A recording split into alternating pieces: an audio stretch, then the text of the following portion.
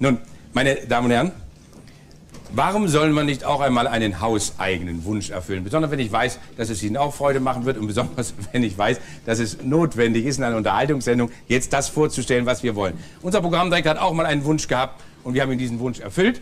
Sie wissen, oder Sie wissen nicht, ich sage es Ihnen, am 2. April ist in London der Grand Prix Eurovision, also der, das große Ereignis, wo wieder der Schlager, das Lied, das Chanson, wie immer Sie es nennen wollen, preisgekrönt werden wird. Wir sind diesmal dabei mit einem Beitrag von Sylvester Levay, mit dem Texter Michael Kunze, der auch der Produzent ist dieser Aufnahme.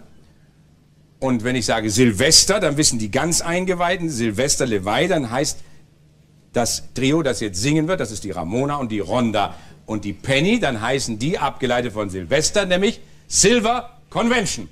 Bitte?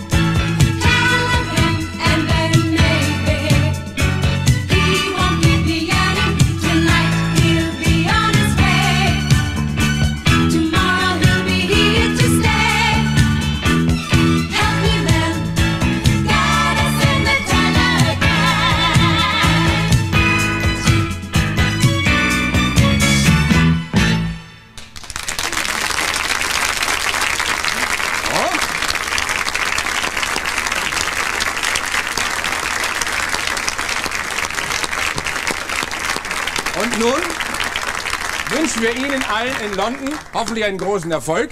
Sie haben es gehört, der Titel heißt Telegram, zu Deutsch Telegramm.